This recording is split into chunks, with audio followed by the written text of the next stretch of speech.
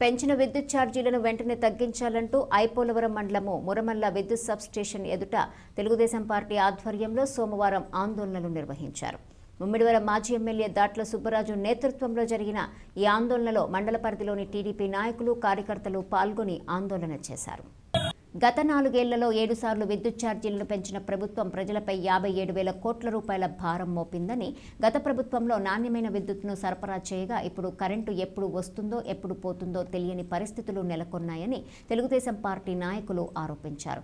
అవగాహన లేని ముఖ్యమంత్రి అవగాహన లేని మంత్రుల వల్లే ఈ పరిస్థితి దాపురించిందని ఏ మంత్రికి కూడా తమ తమ శాఖలపై కనీస అవగాహన లేదని తెలుగుదేశం పార్టీ నాయకులు ఎద్దేవా చేశారు. ఈ కార్యక్రమంలో టీడీపీ నాయకులు కార్యకర్తలు పాల్గొన్నారు.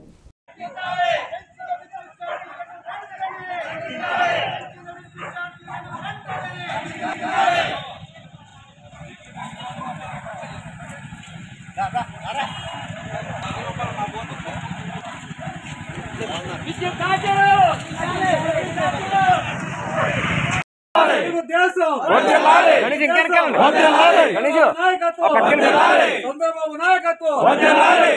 నాయకత్వం నాయకత్వం వర్ధిల్లాలి.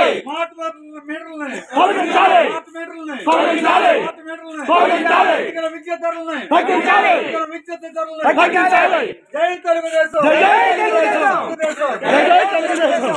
చంద్రబాబు గారి నాయకత్వం. తెలుగుదేశం. అవగాహన లేని ముఖ్యమంత్రి యాభై ఏడు వేల కోట్లు భారం భారం ప్రజల మీద మోపుతాడు దీని మీద. ఓన్లీ అక్వ రైతులు ఓన్లీ కరెంటు మీద.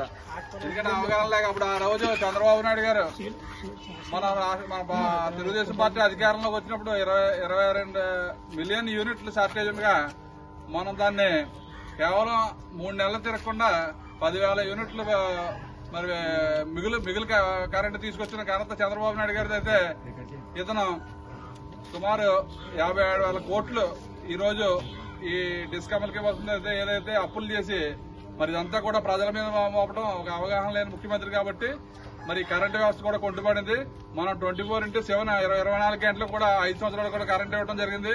మరి ఈ జ- ఈ జగన్మోహన్ రెడ్డి వచ్చిన తర్వాత మరి రైతులకైతే స్మార్ట్ మీటర్లు పెట్టి రైతులు బాధటం అదేవిధంగా మరి హౌస్ హౌస్ కనెక్షన్లకు అయితే మరి రెండు వందల బిల్లు వచ్చి ఈ రోజు ఎనిమిది వందల వెయ్యి రూపాయలు సామాన్యులకి వచ్చే పరిస్థితి ఉంది.